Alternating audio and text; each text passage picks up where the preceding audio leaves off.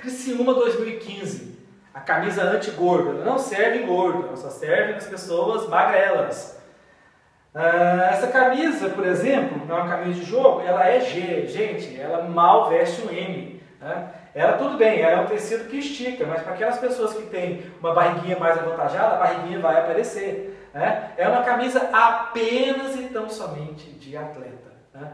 Ah, quem quiser uma camisa dessa GG, por exemplo, tem que procurar em loja, porque a, a, capa faz esse modelo aqui, que é a Gara, que é o de jogo, que é o que o pessoal chama de combate, que estica. Já mostrei essa camisa branca e agora estou mostrando a amarela.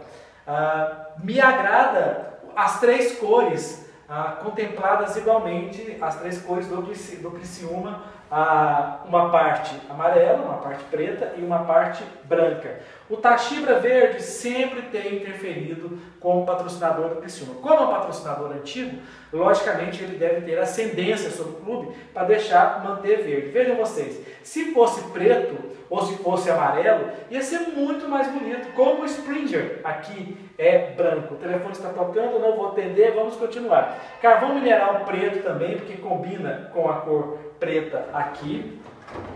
Atrás é uma camisa 11, essa camisa a, a, foi usada em jogo e esse número é um número pintado. Aqui, talharim vermelho, que é outro também que eu acho desnecessário. Gente, porque se o clube tem três cores, vamos seguir uma das cores do clube. Sabe? Mudar a cor da sua marca não vai acabar com o mundo. Enfim. Ah, gosto também do capa bordado no ombro, por quê? Porque é discreto e porque dá visibilidade para a marca.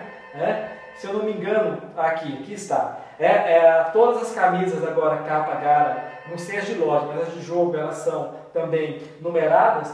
É um modelo tradicional do Criciúma, né? Tem gente que gosta dessa mistura de três cores, tem gente que, que não gosta, mas são três cores que conversam e que falam entre si e que por isso dá uma camisa quase sempre muito bem acertada. É isso aí, muito obrigado.